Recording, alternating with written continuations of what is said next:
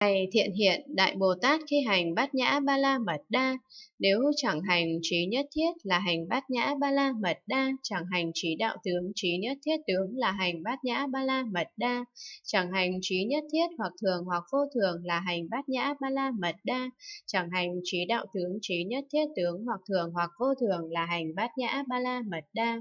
chẳng hành trí nhất thiết hoặc lạc hoặc khổ là hành bát nhã ba la mật đa, chẳng hành trí đạo tướng trí nhất thiết tướng hoặc lạc hoặc khổ là hành bát nhã ba la mật đa, chẳng hành trí nhất thiết hoặc ngã hoặc vô ngã là hành bát nhã ba la mật đa, chẳng hành trí đạo tướng trí nhất thiết tướng hoặc ngã hoặc vô ngã là hành bát nhã ba la mật đa. Chẳng hành trí nhất thiết hoặc tịnh hoặc bất tịnh là hành bát nhã ba la mật đa, chẳng hành trí đạo tướng trí nhất thiết tướng hoặc tịnh hoặc bất tịnh là hành bát nhã ba la mật đa. Vì sao? Này thiện hiện vì tánh của trí nhất thiết còn không có sở hữu, Vướng là có trí nhất thiết, hoặc thường, hoặc vô thường, hoặc lạc, hoặc khổ, hoặc ngã, hoặc vô ngã, hoặc tịnh, hoặc bất tịnh. Tánh của trí đạo tướng, trí nhất thiết tướng còn không có sở hữu. Vướng là có trí đạo tướng, trí nhất thiết tướng, hoặc thường, hoặc vô thường, hoặc lạc, hoặc khổ, hoặc ngã, hoặc vô ngã, hoặc tịnh, hoặc bất tịnh này thiện hiện Đại Bồ Tát khi hành bát nhã ba la mật đa, nếu chẳng hành tất cả pháp môn Đà La Ni là hành bát nhã ba la mật đa, chẳng hành tất cả pháp môn Tam Ma Địa là hành bát nhã ba la mật đa, chẳng hành tất cả pháp môn Đà La Ni hoặc thường hoặc vô thường là hành bát nhã ba la mật đa, chẳng hành tất cả pháp môn Tam Ma Địa hoặc thường hoặc vô thường là hành bát nhã ba la mật đa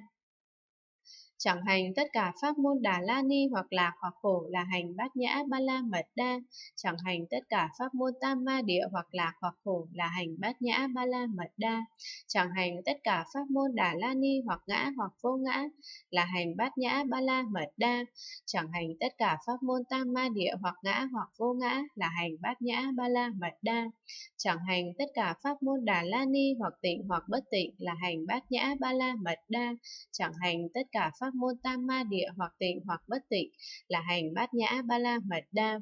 Vì sao? Này thiện hiện vì tánh của tất cả pháp môn Đà La Ni còn không có sở hữu huống là có tất cả pháp môn Đà La Ni, hoặc thường hoặc vô thường, hoặc lạc hoặc khổ, hoặc ngã hoặc vô ngã, hoặc tịnh hoặc bất tịnh. Tánh của tất cả pháp môn tam ma địa còn không có sở hữu, huống là có tất cả pháp môn tam ma địa, hoặc thường hoặc vô thường, hoặc lạc hoặc khổ, hoặc ngã hoặc vô ngã, hoặc tịnh hoặc bất tịnh.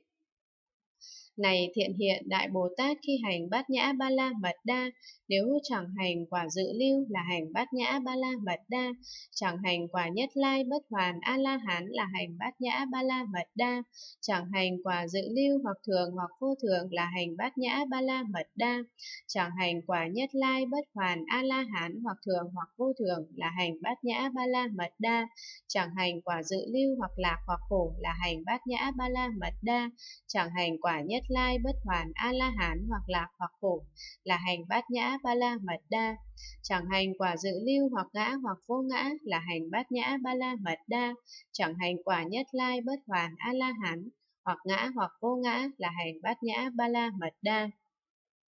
chẳng hành quả dự lưu hoặc tịnh hoặc bất tịnh là hành bát nhã ba la mật đa chẳng hành quả nhất lai bất hoàn a la hán hoặc tịnh hoặc bất tịnh là hành bát nhã ba la mật đa vì sao? Này thiện hiện vì tánh của quả dự lưu còn không có sở hữu, huống là có quả dự lưu hoặc thường hoặc vô thường, hoặc lạc hoặc khổ, hoặc ngã hoặc vô ngã, hoặc tịnh hoặc bất tịnh. Tánh của quả nhất lai bất hoàn A-la-hán còn không có sở hữu, huống là có quả nhất lai bất hoàn A-la-hán, hoặc thường hoặc vô thường, hoặc lạc hoặc khổ, hoặc ngã hoặc vô ngã, hoặc tịnh hoặc bất tịnh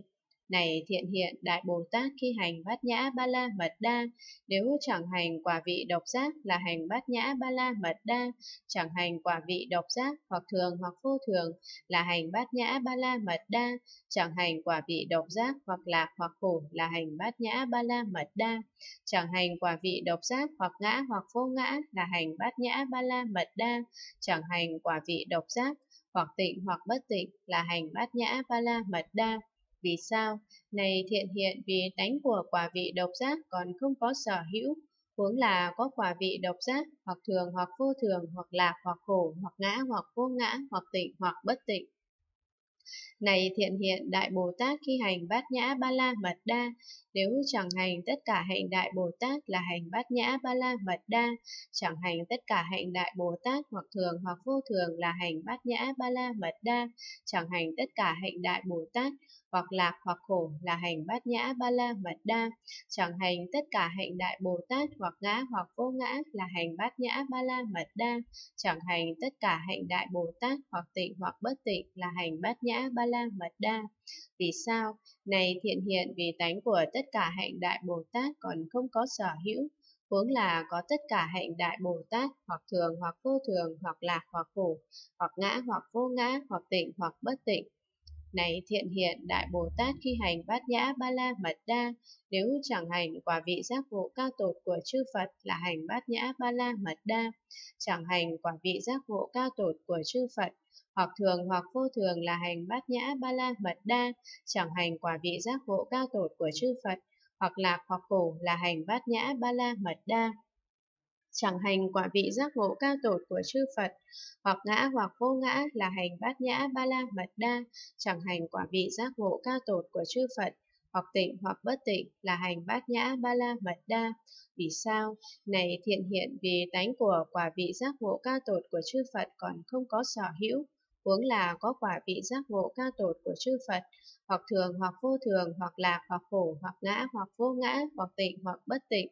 lại nữa, này thiện hiện, Đại Bồ Tát khi hành bát nhã ba la mật đa, nếu chẳng hành sắc viên mãn và chẳng viên mãn là hành bát nhã ba la mật đa. Vì sao? Này thiện hiện, vì nếu sắc viên mãn và chẳng viên mãn đều chẳng gọi là sắc, cũng chẳng hành như thế là hành bát nhã ba la mật đa. Nếu chẳng hành thọ tưởng hành thức viên mãn và chẳng viên mãn là hành bát nhã ba la mật đa. Vì sao? Này thiện hiện vì nếu thọ tưởng hành thức viên mãn và chẳng viên mãn đều chẳng gọi là thọ tưởng hành thức cũng chẳng hành như thế là hành bát nhã ba la mật đa. Này thiện hiện Đại Bồ Tát khi hành bát nhã ba la mật đa, nếu chẳng hành nhãn xứ viên mãn và chẳng viên mãn là hành bát nhã ba la mật đa. Vì sao? Này thiện hiện vì nếu nhãn xứ viên mãn và chẳng viên mãn đều chẳng gọi là nhãn xứ, cũng chẳng hành như thế là hành bát nhã ba la mật đa.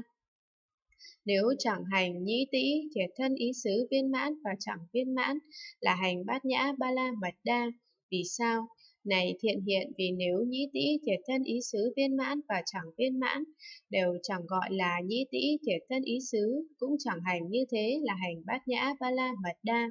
Này thiện hiện Đại Bồ Tát khi hành bát nhã ba la mật đa, nếu chẳng hành sắc xứ viên mãn và chẳng viên mãn là hành bát nhã ba la mật đa. Vì sao? Này thiện hiện vì nếu sắc xứ viên mãn và chẳng viên mãn đều chẳng gọi là sắc xứ, cũng chẳng hành như thế là hành bát nhã ba la mật đa. Nếu chẳng hành thanh hương vị xúc pháp xứ viên mãn và chẳng viên mãn là hành bát nhã ba la mật đa.